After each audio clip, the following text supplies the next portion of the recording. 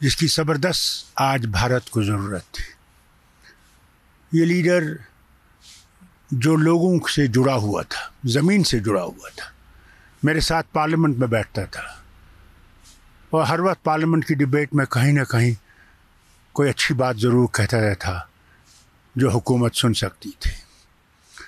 सारी ज़िंदगी इन्होंने लोगों की खुशी के लिए, गरीब को उठाने के लिए उसकी बीमारी, उसकी बदहाली, उसकी बेकारी को दूर करने के लिए ज़िंदगी दी उन्होंने हर वक्त उसी के लिए सोचा। जब डिफेंस मिनिस्टर थे तो ये सोचा कि वतन कैसे मज़बूत हो सकता है? कैसे एयरफोर्स नेवी, आर्मी, इनको कैसे मज़बूत किया जा सकता है कि भारत किसी ख़तरे का, हर ख़तरे का मुकाबला कर सके? ये इनकी थी।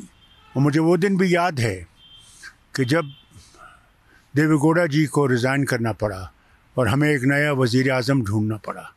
तो उस वक्त पहले तो बंगाल के जो चीफ मिनिस्टर थे, ज्योति बासु जी, उसका नाम पेश किया गया उस वक्त जो लीडर थे। मगर कम्युनिस्ट पार्टी ने वो कबूल नहीं किया। उन्होंने कहा, नहीं, आप वज़ी अजम मत बनिए। फिर इनका नाम था। हम लोगों ने इनका नाम पेश किया। उस वक्त मुसीबत ये हो गई कि फिर यादव में कुछ अनबन हो गई।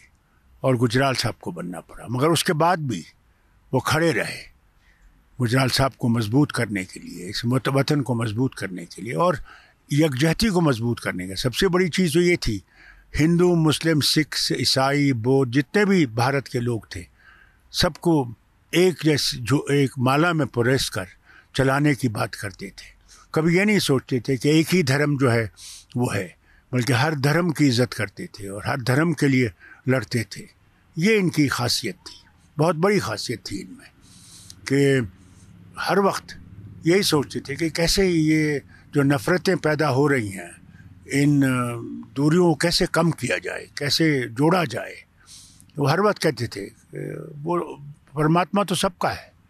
वो किस रंग और किस रूप में आप देखें, वो आपकी मर्ज़ी है। मगर जाना उसी के पास है। वही मालिक है। ये एक बहुत बड़ी चीज़ थी इनमें।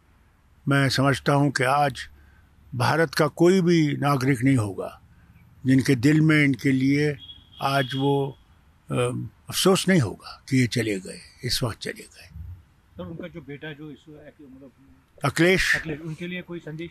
मैं यही कहूँगा अखिलेश से भी कहूँगा और समाजवादी से कहूँगा कि उनका रास्ता नहीं छोड़िएगा उस रास्ते को मज़बूत कीजिएगा कि भारत को मज़बूत कीजिएगा न सिर्फ़ यूपी को बल्कि भारत के बारे में सोचिएगा। कि कैसे हम लोग सब इकट्ठे रह सकें, सब धर्म इकट्ठे रह सकें और हम लोग तरक्की की तरफ़ चल सकें और न सिर्फ़ अपने लिए बल्कि सारे दुनिया के लिए एक अच्छा काम कर सकें।